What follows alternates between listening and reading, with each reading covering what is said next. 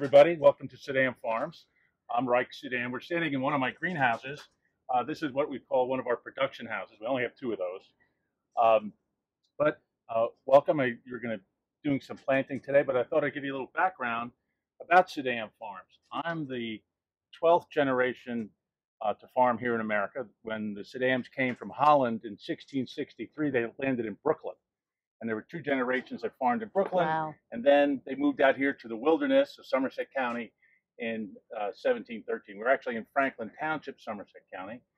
Um, and we've evolved in those 300 years. That's how farms stay in business. If you kept doing the same thing, you know, your, your market changes. Well, we have evolved a lot.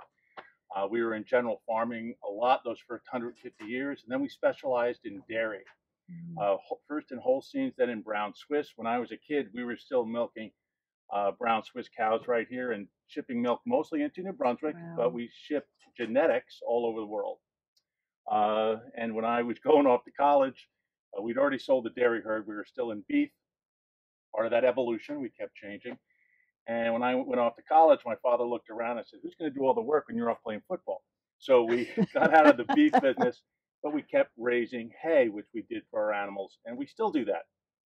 We've evolved some uh, past that. I did vegetables and greenhouse materials for a lot of years. We shrunk that down a little bit, and now we're with the trend evolving and doing some more weddings and other Mm. events here on the farm to supplement our income, but still produce a lot of hay and straw for the horses, both mostly is in Somerset and Middlesex counties where our products come from or go to. Our, our hay goes to them. But uh, we're here today luckily we got a beautiful sunny day to be in a green a little breezy outside so i'm glad we're inside and i'm looking forward to seeing how you put one of these because i don't do these i do these other pots but i'm looking forward to see how you do this lauren well, and this is such an easy um, activity. And right, first of all, on behalf of all of us, the Ag Development Board, um, we're grateful that you could host us today to do this. And Glad I it. just get the chills. This for years. Whenever I come down Skillman Lane and you just come in your driveway, there's just there's such a, a richness about this property and this area